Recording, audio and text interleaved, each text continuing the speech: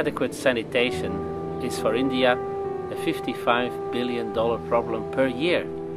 So it's necessary that we have a system that we can deploy as quickly as possible.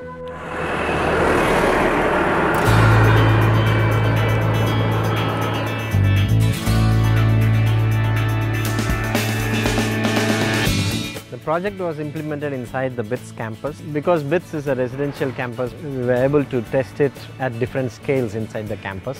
This is a electrochemical reactor which is based on the experiments that we had done on the lab scale as well as the pilot scale.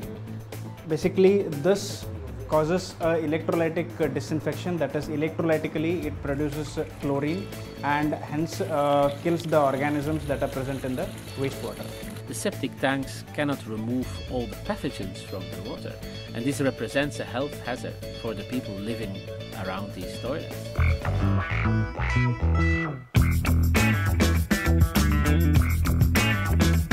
Developing a treatment system for a single household as well as a treatment system for 100 people equivalent. So in two years our idea is to go to a little bit of a free scale um, or a pilot study so that it could be replicated in other areas like in slums or in wherever it is or in rural communities or wherever it is required.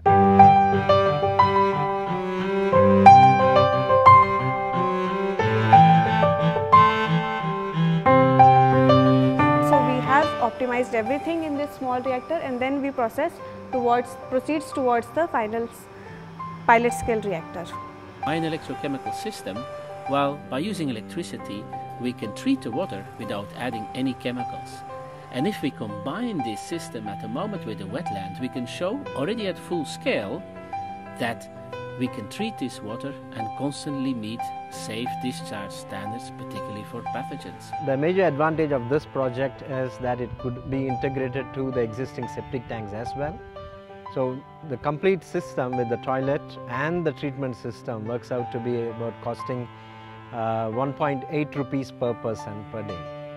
So which means that a, a worker who is working at the toilet also gets paid because of that 5 rupees charge per, for usage in which we can think of 3 rupees for the person who operates it and uh, 2 rupees uh, is the running cost or the, um, the electricity cost to treat the wastewater on site. So that's the major advantage of this uh, system.